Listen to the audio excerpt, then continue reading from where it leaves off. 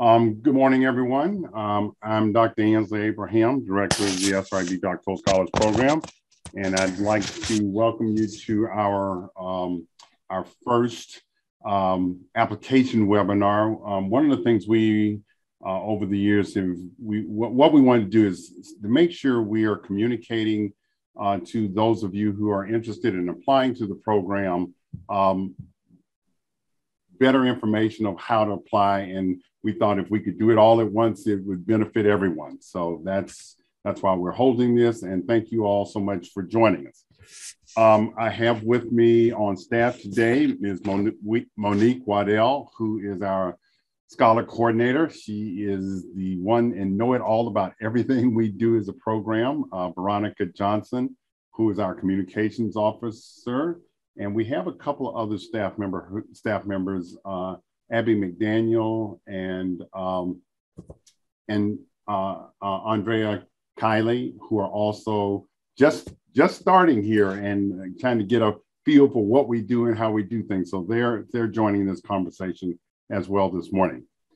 Um, what we're what the way I would like to do this this morning is hold all your questions to the end. Let us get through the presentation and hold all your questions to the very end.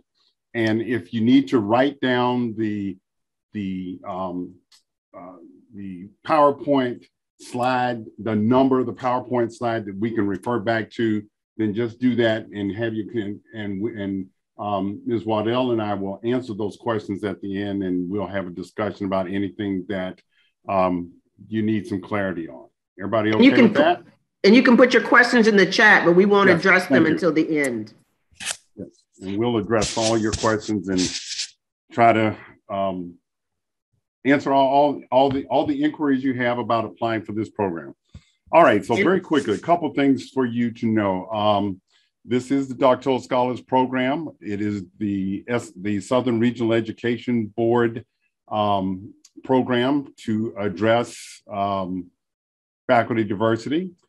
SREB is a nonprofit, nonpartisan organization headquartered here in Atlanta.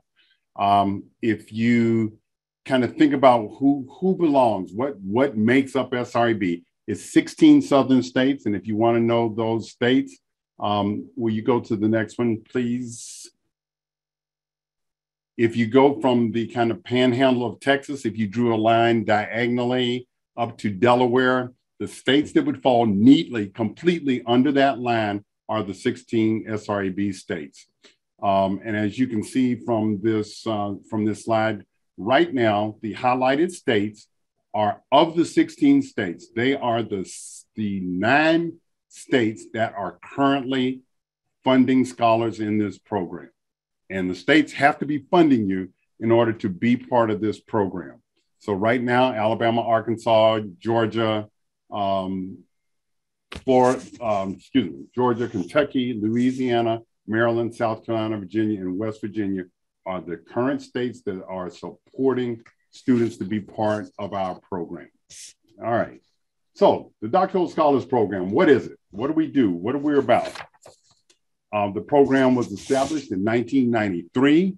Uh, the goal of the program is to increase faculty diversity. We operationalize that goal by supporting underrepresented minority students to earn their PhDs. And as they do and engage in that process of earning their PhDs, uh, we provide programming around them that help them get prepared and ready to compete for faculty positions. Um, to date, as a program, we've um, supported just over 1,900 underrepresented minority PhD students. Over, or just about, we're just under 1,200. Probably in the next two months, we'll be over the 1,200 mark, have already earned their PhDs. They've, they, we've had students at just over 100 institutions and in more than 30 states. Now, you just said, well, but you just told us, hey, that you only got nine states that have that are that are that are that have, are committed to the program currently. 16 states in your region, but you have 30 states that have produced students because we have students that come through our program who who are in other states and institutions in other states outside of our 16 state region. All right. So, what are the eligibility requirements for being in this program? First and foremost, all of you have to have been admitted into a PhD program. You have to have been admitted. Okay, that is part that that that is that is number one. You all have to apply to and be admitted by your institutions or several institutions that want you to come to that instant to to their institution um, before you can apply to us. You also have to be a U.S. citizen or have um, have permanent resident status in um, in in this country. You may not be employed outside the institution, okay, on a full time basis. That that that especially, yeah, you can't. One of the criteria that we're looking for are students who are committed to and going to school full time. Everybody got that? You must have earned your baccalaureate or master's degree from an accredited institution. And on, the, on a very personal level, you all must be committed to a career in academia, preferably as faculty, because that's what we prepare you for. That's what this whole program is about, diversifying college faculty. So, you know, we want, because if you if you're not committed to that, I mean, this is not going to be the program for you, quite honestly because everything you do, everything we expose you to, every piece of preparation you all will get from us programmatically is to help you be competitive, more attractive, um, better prepared for the for academia, for the professoriate. Um, for a student in our program, you must be enrolled full time. And you must be enrolled full time and full time, we we do we do recognize that from institution to institution, there are a few differences. By and large, but by and large, in most institutions, full time is considered nine hours of, of, of PhD study is considered full time. And there are again, there we know we know there are exceptions to that. Um, also, you must be committed you must, it is a program requirement, you must attend our annual Institute on Teaching and Mentoring. It's our annual get, to, uh, get together. It's our annual meeting of program scholars. It's typically in late October, last two weeks of October, a Thursday, Friday, Saturday. It is a program requirement. If that's something you don't want to do, you can't do, um, again, this is not the program for you because that is the mechanism in which we we deliver probably 95% of the programming that we have for you is done through those four days. Uh, and it's an intense four days, and you are required to be there. We do not support professional degrees. Okay, we do not support professional degrees. That is the DBAs, EDDs, you can see the list of them on the PowerPoint, JDs, PharmDs. You must be applying to be part of this program into a PhD program. Now, we know that there is an exception to this, but it, it if you're applying to this program for state funds, for state dollars to support you, there are, we will not support professional degrees. It must be the PhD. All right, everybody okay with that? Got that. All right, next slide, please. All right, so all of you, if you've looked at the paperwork and uh, you know there are two types of awards into our program. We have our what we call our doctoral award, which is a three to five year package of support, or the dissertation year award. You're if you're applying to this program, you're applying for one of these awards the three to five year award. Again, you got to be admitted into a PhD program. Go back for just a sec, um, Veronica.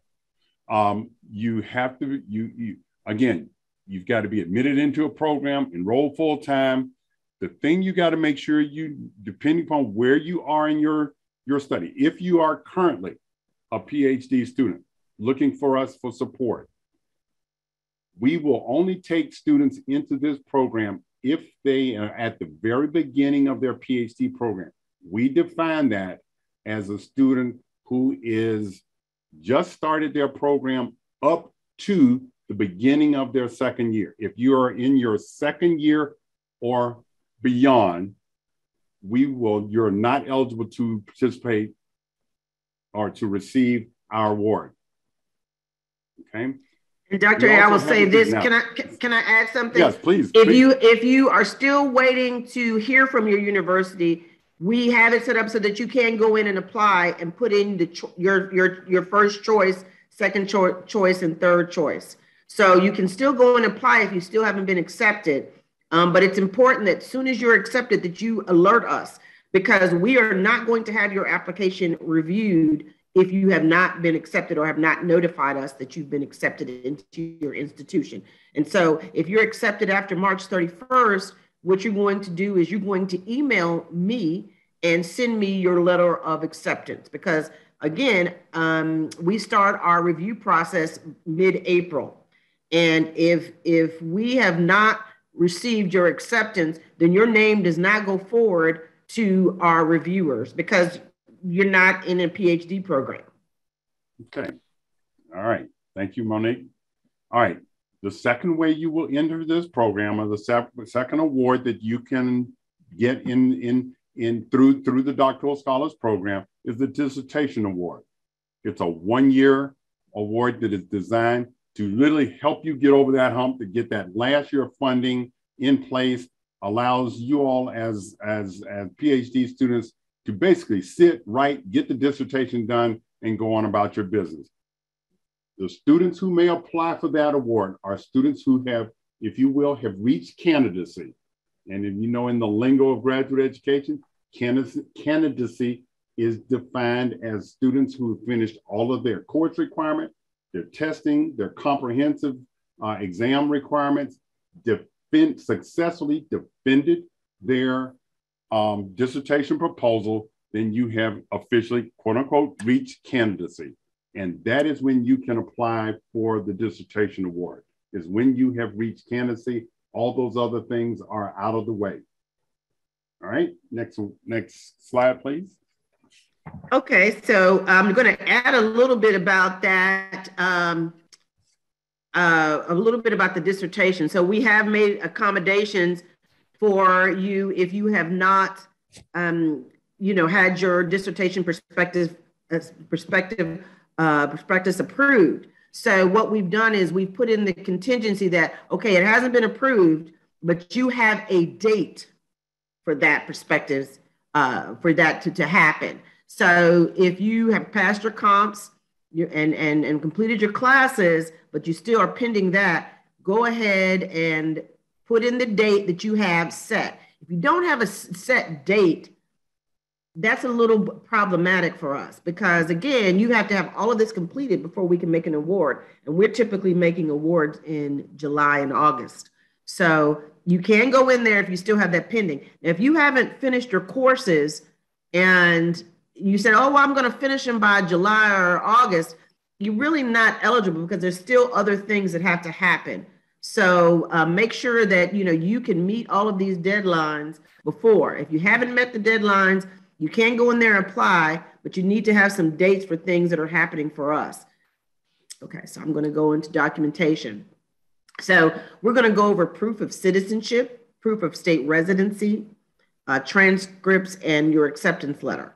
So for proof of uh, citizenship, everyone has to do that. If you can go to the next slide. So we're asking you to upload documentation. So you're going to upload your birth certificate or your US passport or your permanent resident ID card. So if you are here on a school visa and you're not going to be a US citizen or a permanent resident, you are not eligible to apply. If you submit your driver's license, that is not adequate proof of your citizenship. That will not suffice. So these are the only acceptable uh, items for you to upload to prove your citizenship. If you can go to the next slide. Now this one is, is, is a tricky one.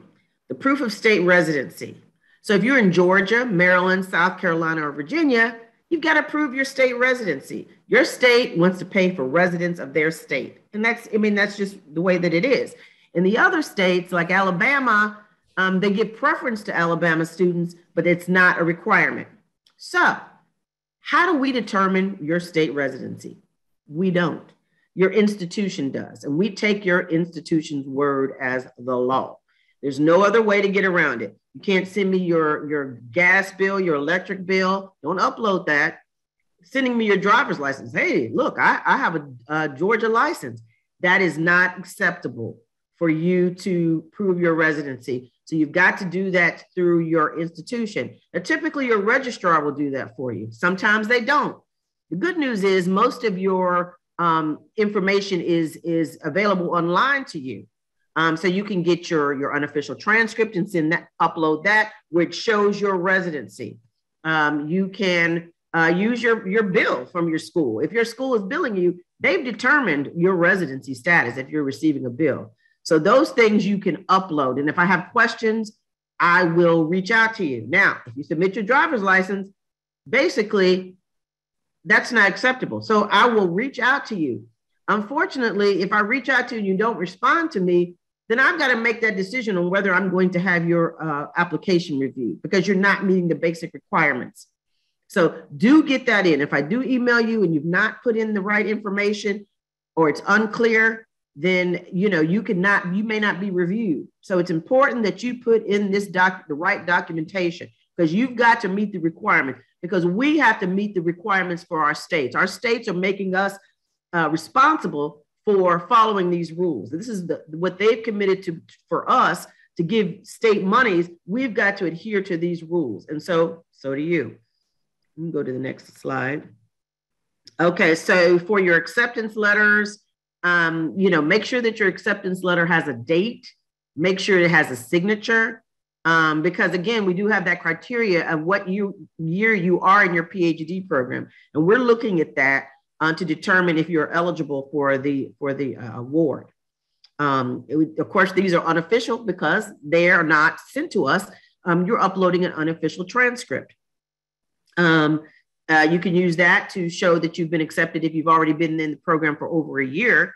Um, and you can also uh, send us uh, a letter from your from your department showing that you've been accepted, that you've gotten this, you know, graduate assistantship. There are all kind of ways that you can prove that. If if if you send something and it's questionable, I am going to reach out to you, and please do respond in a timely manner.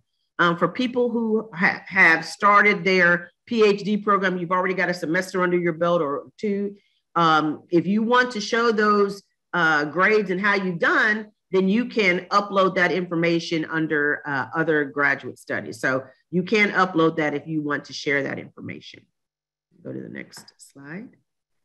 Um, and Dr. A, I'll let you all right, take it so away. now um, the thing we need for all of you all to be very attuned to of, of, of what makes a difference in this application process for us. Okay, so I'm just I'm giving you the, the big hints of where you put your energy and your time. Um, in your personal statement, okay, here the here the you know it's important because I think one of the things all of you need to remember and think about everybody who applies to this program has been admitted into a PhD program, so they are qualified. Everybody is enormously qualified. So what makes a difference? That that personal statement makes a difference in those letters uh, your, your, your personal statement letter of interest makes a difference in your recommendation letters weigh heavily. So your personal statement no more than two pages. So you, you need to put time and thought into it. Single space 12 point font. And we are telling you grammar and syntax make a difference. Your writing you know how you tell your story how you express yourself makes a difference. So do the best, do the best writing job you can in crafting that statement. Next, next uh, slide, please. Okay, a couple things, you know, a couple helpful hints about that personal statement, that that letter of interest that we're make it make it compelling. You know, tell your story. You know, it's personal. It's about you. Share, you know, these are all hints of things to include. What motivates you? Somehow convey passion for your field of study, for the research you're interested in. You know, what's driving you? Describe how the SREB award will help you. How does it help your community? Tie it into something a little bigger than just you. We know we know our funds help you, but you know you know you're more than just you. You you interact in your community. You have families. You know there there are other ways that this award is also going to help you.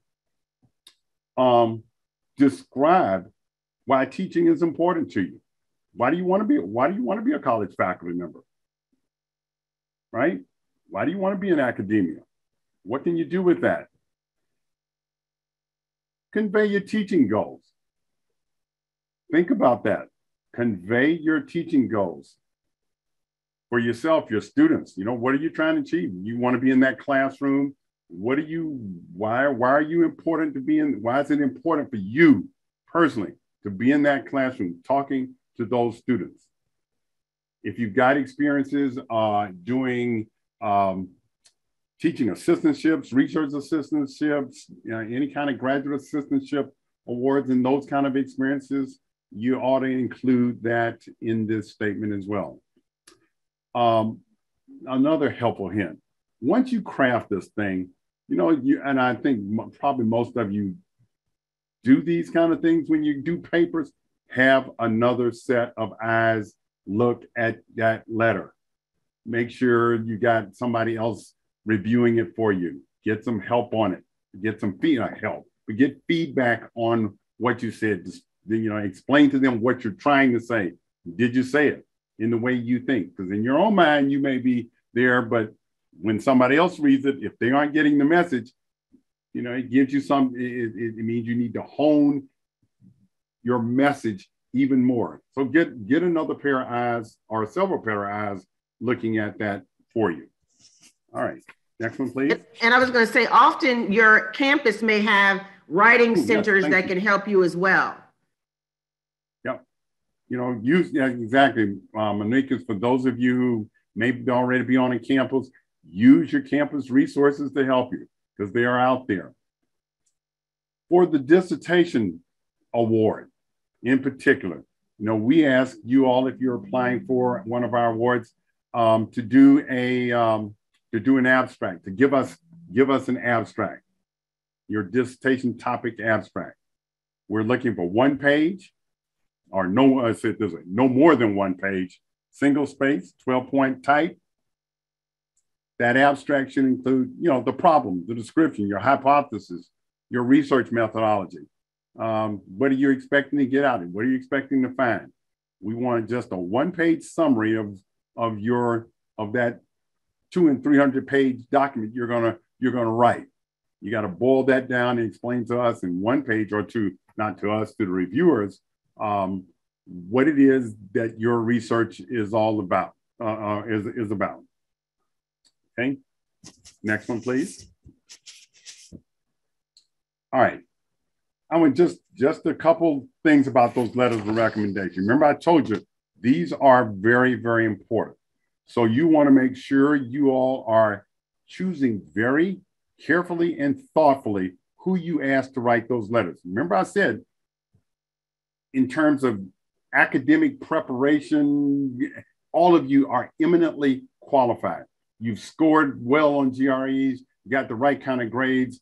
You all are all very intelligent folk. You are eminently qualified and been admitted into a graduate PhD program in an institution. So what people think about you and say about you get to be important factors that we look at. So choose thoughtfully. You should choose someone who knows your who knows your academic work, like a faculty member, a researcher, uh, a, a principal investigator on a piece of research. If you're not, if you can't do that and you've been working for the last five years, a work supervisor, somebody who knows your work, your work ethic, ethic and can comment on that.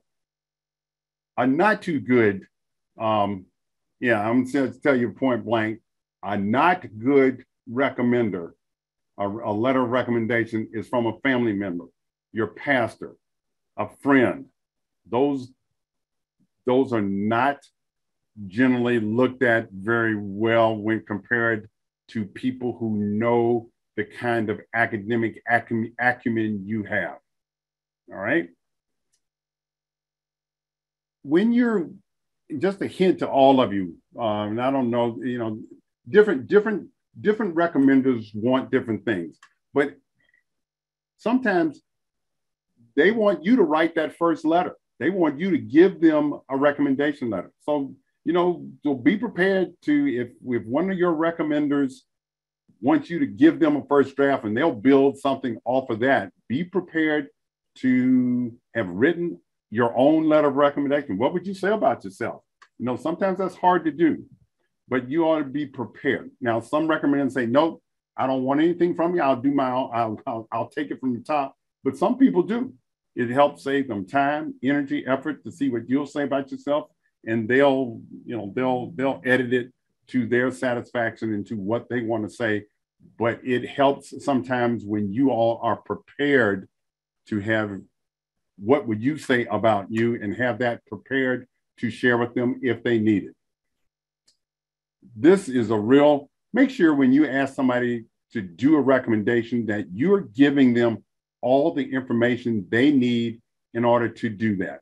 The, you know, to whom, for what reasons, make sure you're giving them every piece of information they need, the address, you know, if it's got to be uploaded, the, the links, make sure you're giving these folk all that information. If you're asking for it in an email, make sure that all of that information is there.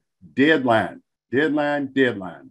Um, it's important that you communicate and convey what the deadlines are to those, those people you ask to write those recommendations.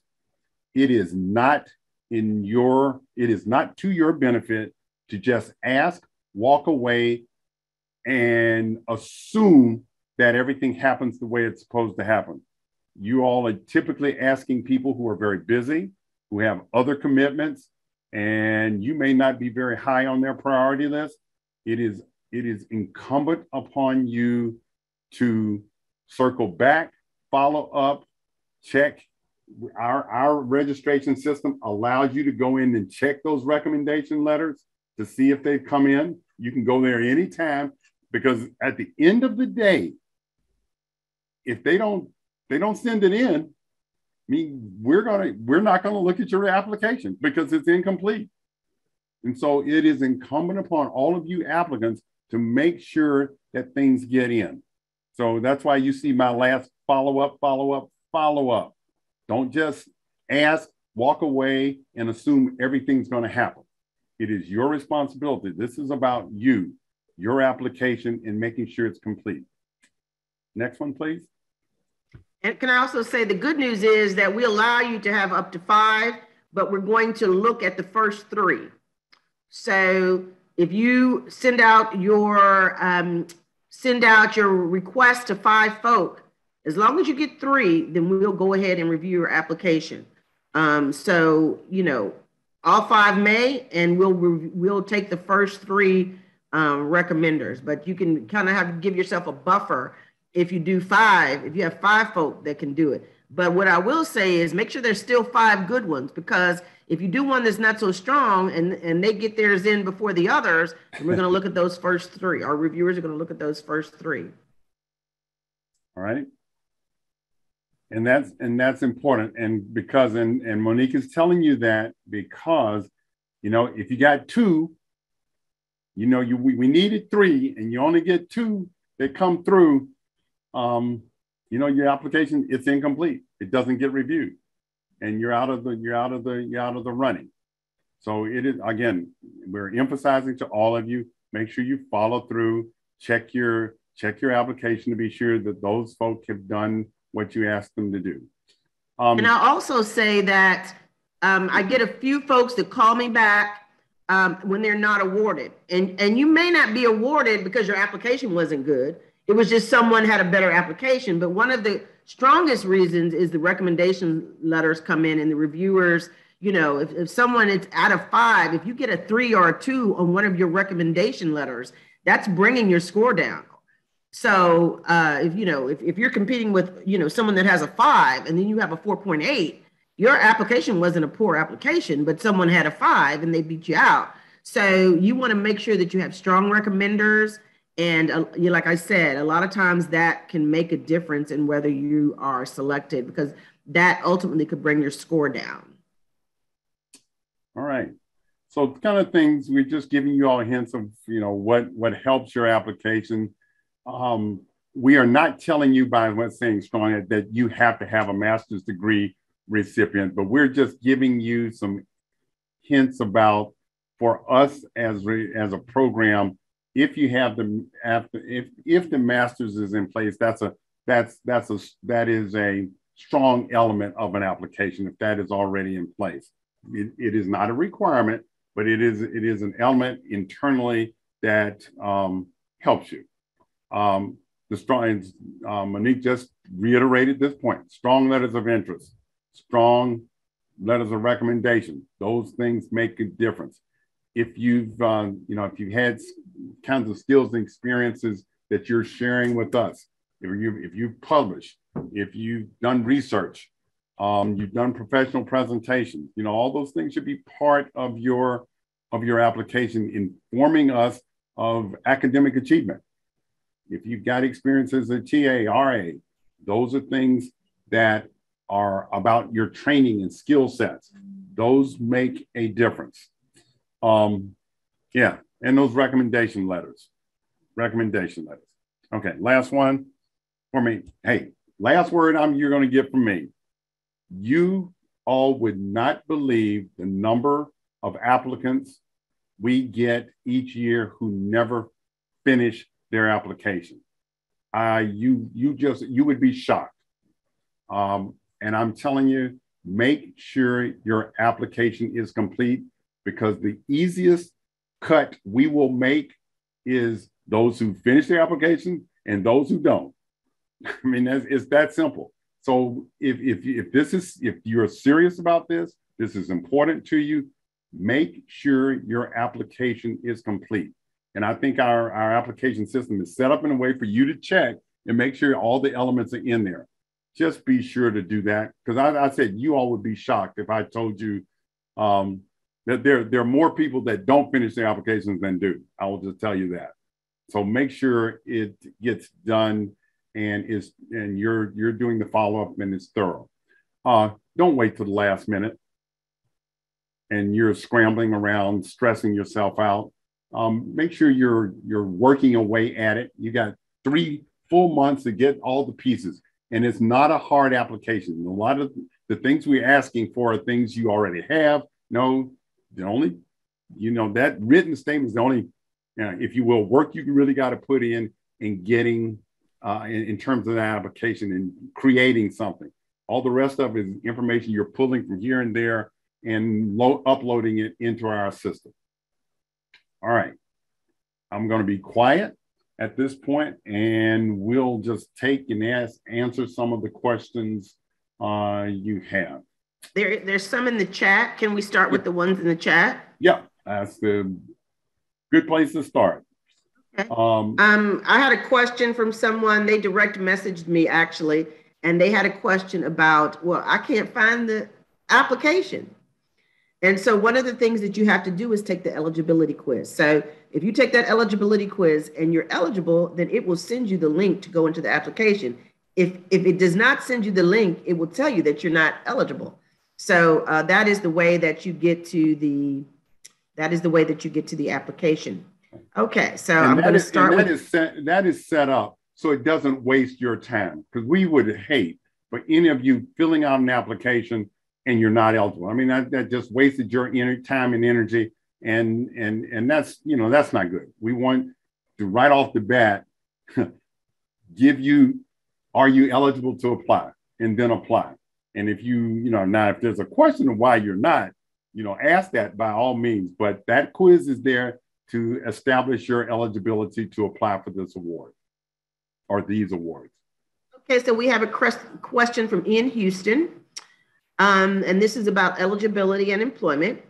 Does working in the university system, USG, revoke my eligibility?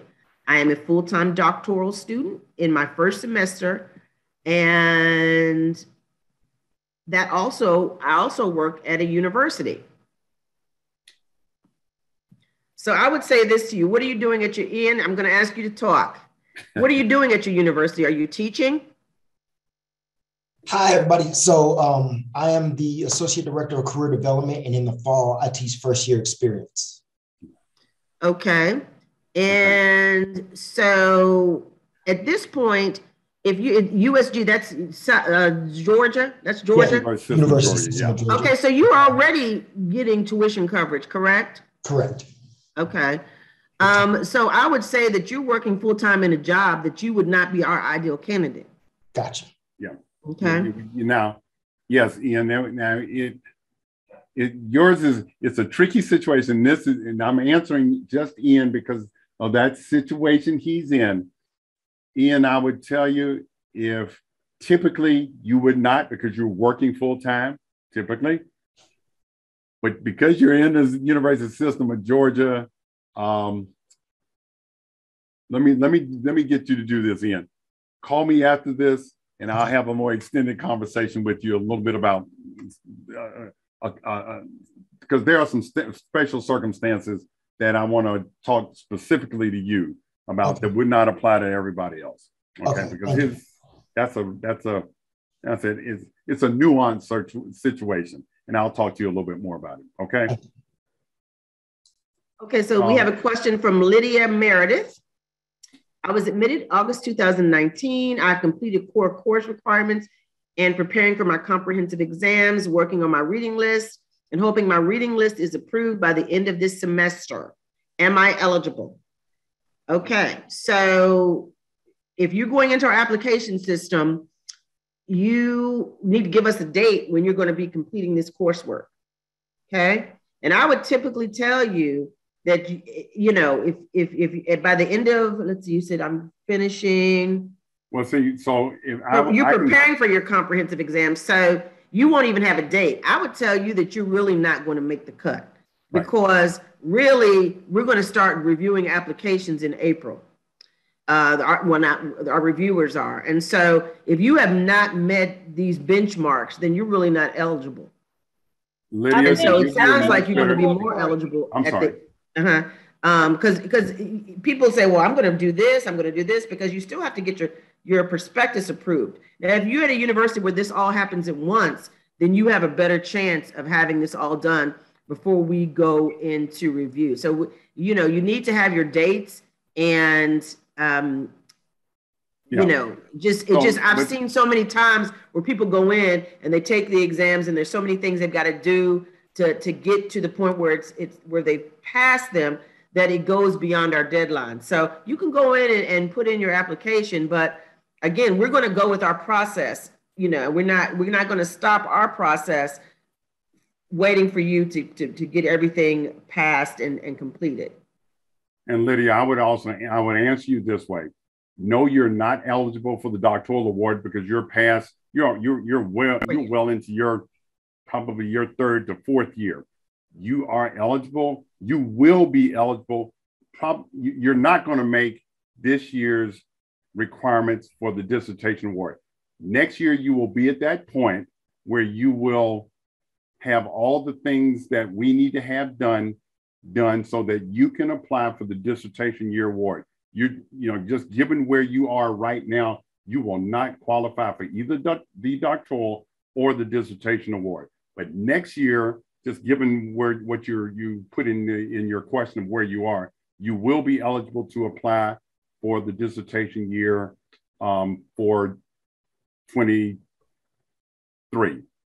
I think I got my dates right. Yes. Thank you. Uh-huh. Uh, Betsy Perez, if I applied before because I was nominated by my professors at my institution last semester, can I reapply? Betsy, you've still got to meet all that criteria. You've got to be within your first year. Um, and, you know, I would also, just as a helpful hint, when you're doing your personal statement, you talk about these professors nominating you. I mean, because that's that's pretty rich that the, the, the, someone on your campus has said, "Hey, we we think that you should do this." That's something that, that that's a personal interest that you uh, were were selected or chosen by your professor. So if you still meet our criteria, I say keep reapplying. You know, if you're within that first year, um, go ahead and reapply. Just kind of follow up. Yes. Um, kind of uh, somewhere where Ian's question was. Um, as I, I'm a GRA, so that does cover tuition. Right. Would That's okay. that That's good. Out of the eligibility, or would I still be No, eligible? no, no. Because let me say that this much to you. So another part of you getting an award is that once we've kind of gone through our review process, I still have to contact your institution to see if they'd be willing to cover your tuition. And a lot of time that's through an assistantship, through an you know te- teaching assistantship, uh, grad research assistantship, or a um, or any other assistantship. So that's typically how institutions kind of work the system. They say, yeah, we'll cover her tuition, but this is how we're going to do it. So that's fine. A GRA is fine. And just make sure that your department is aware. And if it's if it's outside of your department, that they are aware. If it's in your department, they'll know. So okay, so let's see. Our Um, next see, question. Um, um, Brittany, you asked, um, is there any bit for applying, uh, is there any benefit for applying early um, on the applications? The real, the, the answer is no. I mean, you could be the first one in there and, and there, there is, there is no, um, there's no practical advantage to having your, uh, your, um, your application in the first day or the last day. Now, if if you're begging us to get an application after the after the deadline, that's problematic. I mean, you know, we can say, well, we might let you in, but it, it will always be on there that they applied after after the deadline. So you know, it's you know the chances of that um, that happening and you're being awarded uh, slim and none. You know, we you said you got three months to get those applications in. Uh, when it closes, um, that's it, really. Again, we don't we don't review until after that time anyway. So no, there's no um, active benefit for applying earlier versus middle versus late, or late in that in that in that period. Emily Vance, are we able to submit CVs with our application? I did not see it listed on the site or app. Emily, are you applying for the doctoral or the dissertation? The doctoral award. Okay, so for our doctoral awards, no, we're not, we're not asking for your CV because typically you're not going to have a lot to put in there. But what you what you're going to do is you're going to look at that CV and you're going to weave that information that's pertinent into your personal statement. Okay, so you know we have people. I get this question every year by several. Can I just upload my CV into the personal statement? Let me show you what I've done and we say no. Now, for our dissertation folk, there's an opportunity because you've you've you've done some things. Um, you've been on the campus for a while, and so we have that opportunity.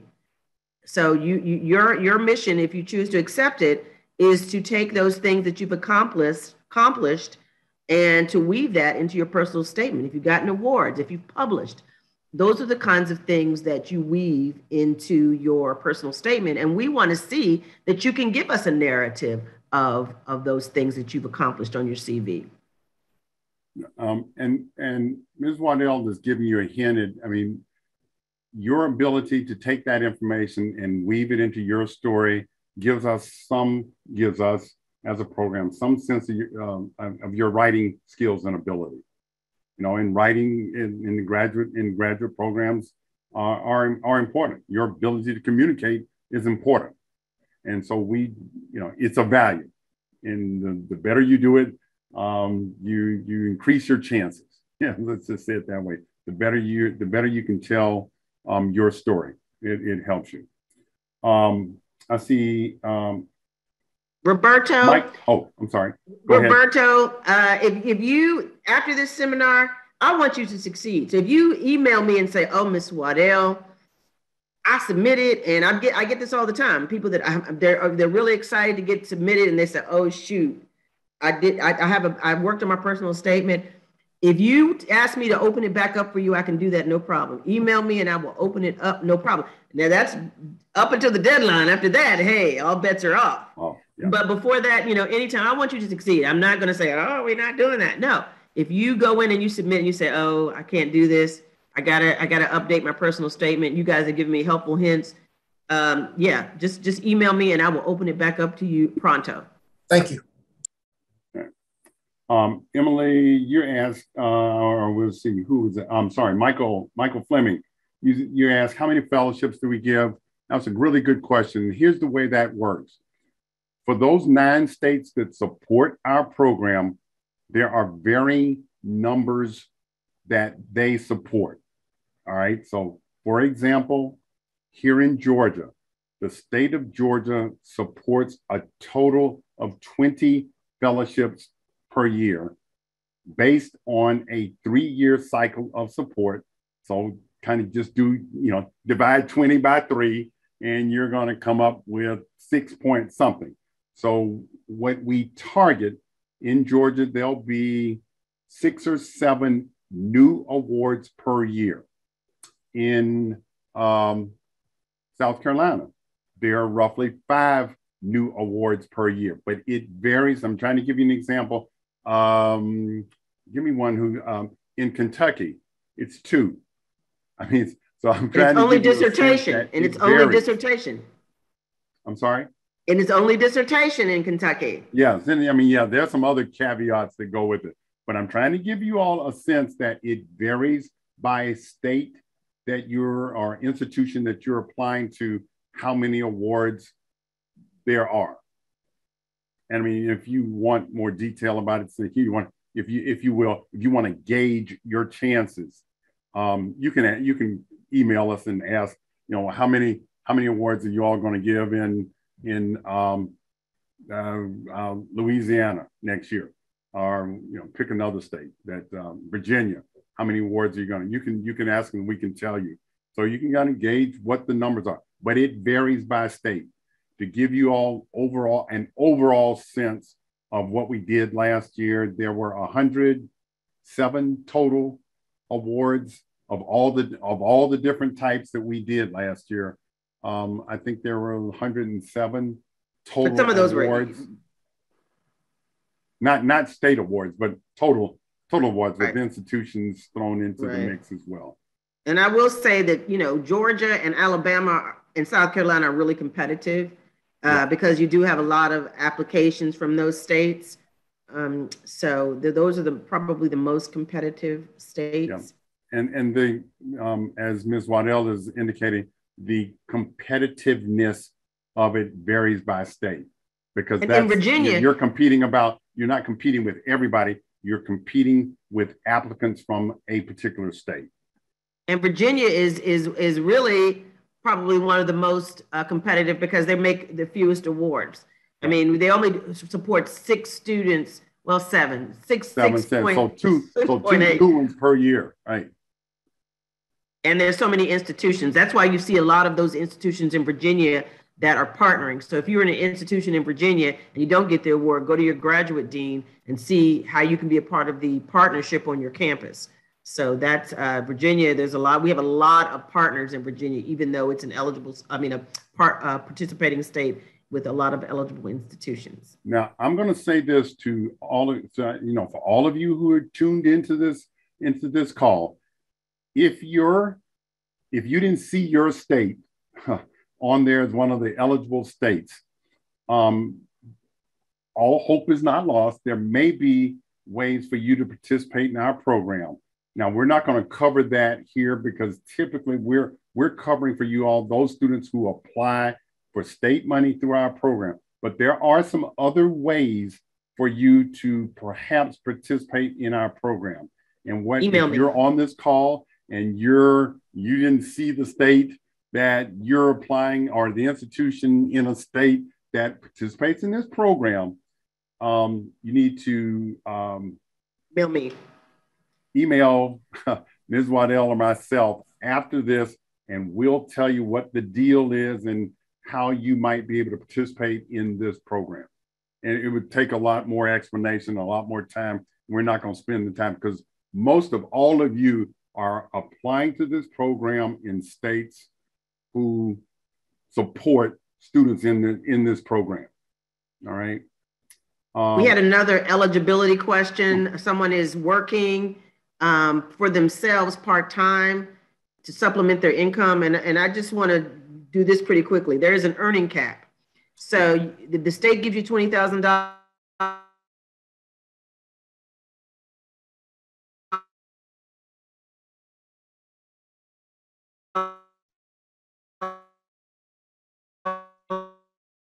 you can, you know, work. Now, Dr. A, like you said, there's ways that he works around that in that you can forego your stipend monies, um, but that's not really what our model is. So, um, Meredith, if you are working part-time, you know, we'd have to, you know, talk to you about that, but really we have that earning cap and we don't want you to be working outside of the university.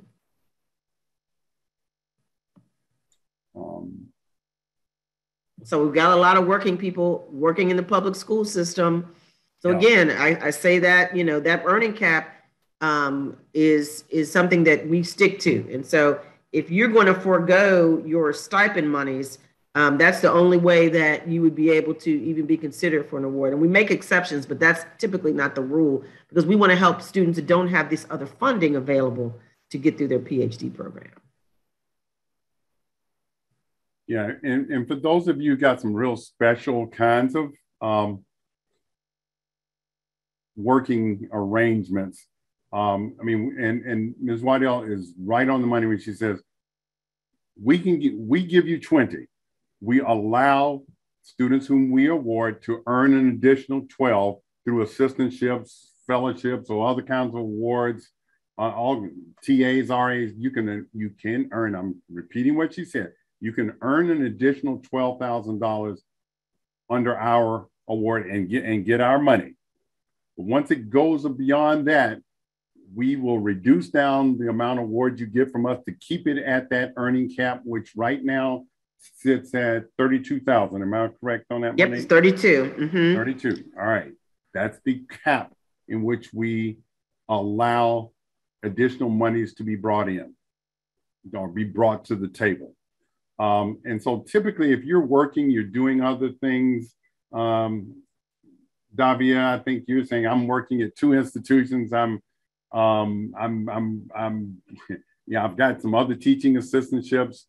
And you know, the way I would, the way I answer you, we allow twelve thousand dollars. If those those other two teaching uh, gigs that you got going are within that, you know, then apply. But if you're making more money and you say, I, I have to have these jobs, I have to do these things, then this program doesn't fit you. And that's just kind of the way it works out. Okay, Charles. So if you have a defense date in fall 2022, that's okay. You can apply because I've had people that have graduated in December. Yeah. So it's okay. You're you're eligible to apply. Yes, yes, yes. Yeah. Charles, just make sure that as as if if you have not defended, if your dissertation is coming and you've not defended by the time these applications go in, you better make sure you have communicated to us a definitive. We need a date. If you go, I have no idea when I'm going to defend. I'm going to tell you right now, your application will go to the bottom of the pile. You just, it, it just won't be competitive. We need a set date of when that defense is scheduled. So what I think Ms. Waddell was just saying to you all, we can make an award.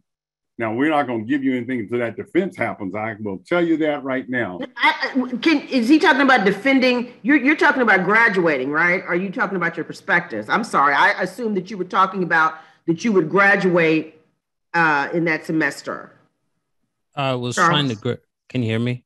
Yes. Charles. I was trying to graduate uh, May 23, but I was trying to defend um, in the fall. Right. So, So, the, that we school year. we consider your graduation when your committee signs off. So if your committee signs off um, and you're not enrolled, I can't pay you. But like I said, that whole semester you would be able to receive funding. So your graduation, when you put on your cap and gown and walk across the stage, we don't care. I mean, we care, we care, but it's not what we're counting as your graduation date because um, you know, you're to us when your committee signs off, that's when you graduated. You are a doctor, you're a PhD, and nine out of ten, um, are you going to be enrolled in January uh, after you have had your committee sign off?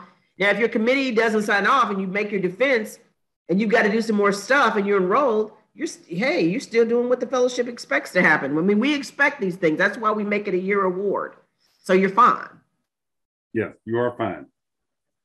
And I would encourage Now- you to apply. Make sure you fill it Yeah. out. Now, Terrell, um, remember I told you, you're in Alabama. If you're applying to a school in Alabama, they give preference to Alabama residents, but there's not a, there's not the restriction. Georgia, South Carolina, Virginia, um, is it Maryland? I think it's Maryland. Those states require you to be in-state residents. But for like Alabama, it's it's in Arkansas, West Virginia, it's it's not as stringent, and you will not be disqualified if you do not. And if you go in the application, it says that. Now I saw on the link that someone says the eligibility eligibility eligibility quiz wasn't working. So I'll check that out for you. It should be working because um, I have a, quite a few people that have gotten in.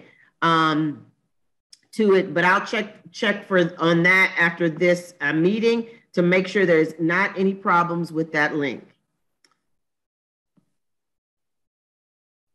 Leah, I, the, the, question you posed, I think we may have answered, but I want to make sure you're clear on how this goes. You ask a question about that, your prospectus defense uh, date, you know, the contingency. Listen, the, the, the earlier, the, best, the way I would answer you is uh, the earlier you have that defense, the better. The better you are in terms of our consideration. And obviously, if you've done that before the application deadline, that's the best. Um, but the sooner you have it, the better. All right. Because if, and in all honesty, if that happens before the final decisions are rendered, it puts your application in a better place, in a better position. Because I will tell you all, as we go through this, those students who got everything in place, those, those students, those applications that have everything in place by the time we're making decisions are, are those that have the best chance, quite honestly.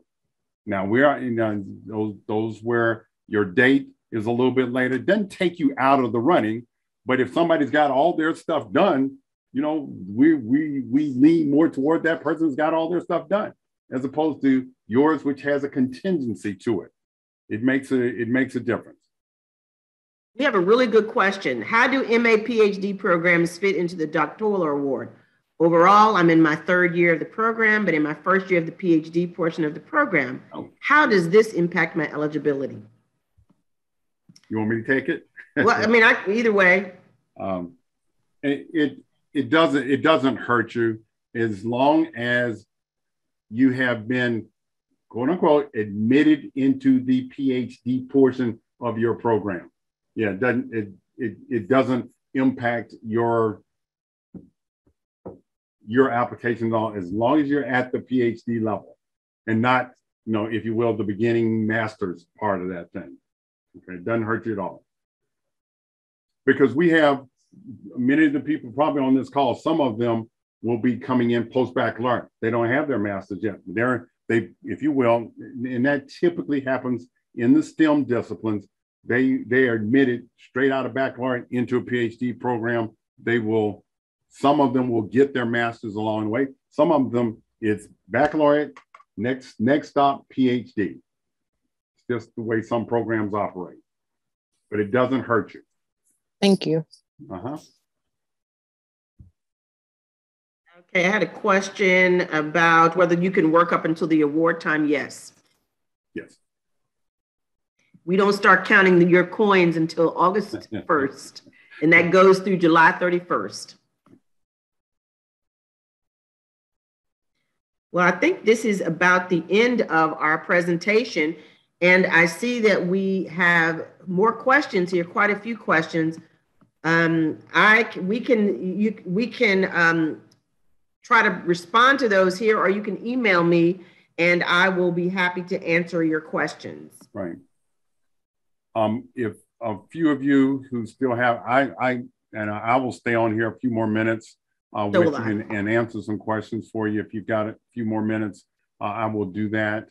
Um, um, but you know, and, and if you got to go, like everybody, we're all busy and got other other appointments and things to go to. Uh, email us. You know, we'll try to answer as many of these questions as we possibly can, or or you know, email us or call, and we'll talk to you, talk you through about your your particular circumstances and conditions, so we can, you know, make sure you you can get get in the best application, or you can or that even if we inform you that we don't, you know, don't waste your time because you, you you're not eligible. You, there's something about your um, your circumstances that, that renders you ineligible to apply.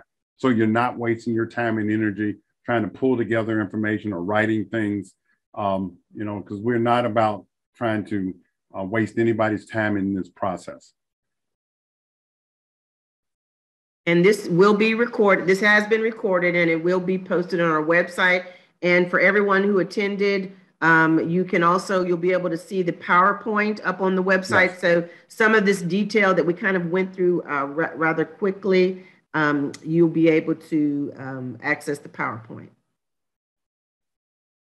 And thank you. You guys have been a great. Thank you all. Like I said, for a couple of you, if you got other questions, you want you want to talk to me, I'll, I'll hang around for 10 more minutes or so and answer any questions any of you might have. Be happy to do that. But thank you all very much for um, your interest in applying to these programs. And um, I wish all of you um, the very best in your um, in your doctoral studies. All right, we missed uh, Dr. S- Yep. I say, if, if any of you are still on and you want to ask me a question, just start talking. I'll, I'll you know, we'll, we'll, I'll answer any questions you might have. Hi, I have a follow-up question to one that was um, asked a couple minutes ago. Yes. Um, so I'm in, I have a master's degree in MS from my previous institution, um, and I'm in my first year at the University of Arkansas. Um, so technically, I'm not going to count my old master's. I'm still going to do another one in the PhD program. So I'm just wondering, am I technically um, eligible after the first year because it's in the master's part of the program? Is it really just that first year of the PhD program where we're eligible? it's first year of your PhD, not the master's, PhD. So even though I'm considered a PhD student, I'd be essentially um, eligible to apply You- after the first two years of the program. Not after the first two years. If you're, if let's say, if you if you're telling me, um, if I understand your question, you've got a master's under your belt right now, right? Yes. you are you're in a PhD program right now that has a mm, master's requirement attached to it. Exactly. Yeah. The first two years you defend after your second year. Okay, now answer me this. What were you admitted to? A master's program or a PhD program? A Or PhD. PhD. Okay. All right. So if you were admitted to a PhD program, so even though you're going to get that, you, you know, the first two years of that master, you're going to get the master's along the way. We're counting that as a PhD enrollment because that's what you're admitted into is a PhD program. Okay. Gotcha. That makes sense. I just wanted to clarify. Yeah, no, that's that's a that's a great question. It's a great question, and it's it, it, it indicates some of the nuances of this that you know it's hard to convey. And you're that's a that's a great question. For sure. Thank you so much um, for your Uh-huh. guys' time. Really appreciate it. Absolutely. Anybody else got anything that they are questioning, want to know more about, want to get additional info, information, questions? I just had Leah? a quick question about the um, October meeting. Where where is that usually taking place at? It's going to be in Atlanta at the Marquis, Marriott Marquis. And the dates, I don't have exactly. It's the Uh, last it weekend of October. Uh, October 27 through 30, and it's here in Atlanta. Thank you. Uh-huh. I will say, um, if you all follow us on our social media pages, a lot of times we are sharing that information on the dates of different things that we have coming up, whether that's a webinar or other programming and the Institute information as well. And I've included that information in the chat. Thank you. All right, everybody else, good? I do have a very quick question. Just Sure, wanted to Meredith. Clarify. Meredith. Thank you so much, Mr. Um, Abraham. So my question is twofold. Um, one year, first year doctoral program students, that would mean like if I enrolled in August, my eligibility ends as of this current year, correct? If I enrolled in my doctoral program in August of 2021, this is my only opportunity to apply. That would be correct. Okay. That is correct. Now, you know, so you said it is your only opportunity to apply apply to the doctoral award. Let's say you you you missed this one or didn't get this one, you would still be eligible to apply for the dissertation award when you get to that point. Got it. And then just one more um, Sure. question regarding the annual Institute on Teaching and Mentoring. Did I hear you correctly when you said that it's the last two weeks in August of 2022? It is it is usually within that last two week period. It's it's um I it's it's rare that it's not within the last two weeks of October. Okay. And does it run full days or did you say weekends? It runs from a Thursday to Sunday. Thank you, sir. You know, it's coming in coming in late on Thursday, leaving midday on Sunday. And it's a extraordinary event. I will just say that. And I'm not just patting ourselves on the back. It's pretty extraordinary to um, be in a meeting in a room where you have um, well over a thousand or close to a thousand minority PhD students who are literally from all over the United States, all pursuing PhDs. It is, it is the largest gathering of minority PhD students in the country. It's, it's, it's incredibly powerful experience, motivating. Um, yeah, and I hope you get it, and I hope you get have the opportunity to see it in action. It's an incredible experience.